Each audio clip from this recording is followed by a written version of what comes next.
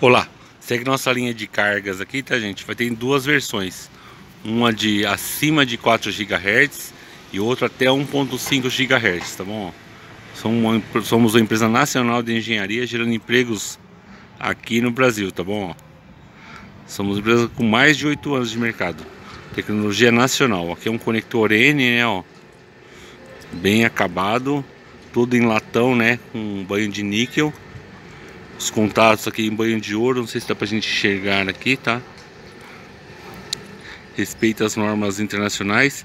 Essa versão que nós vamos ter em dois modelos, um até 1.4, 1.5 GB e outra versão acima de 4 GHz.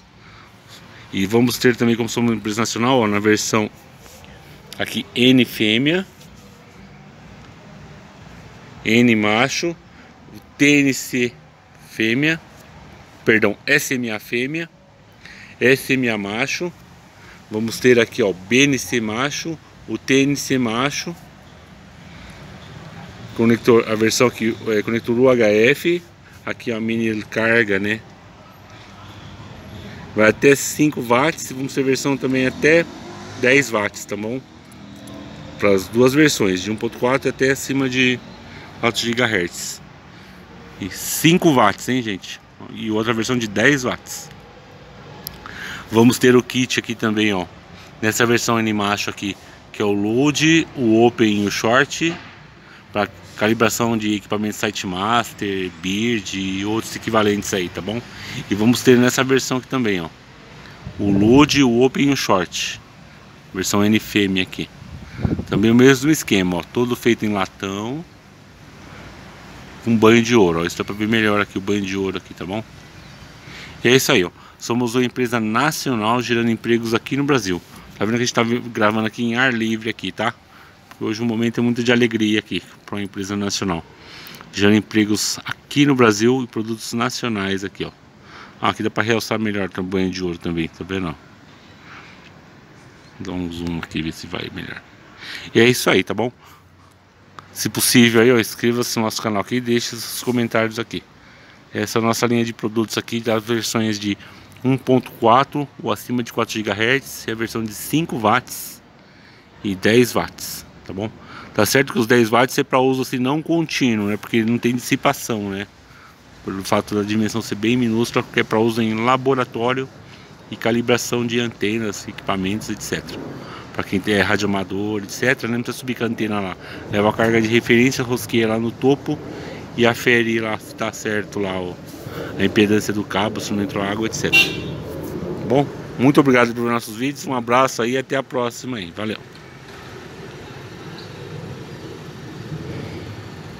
Hum.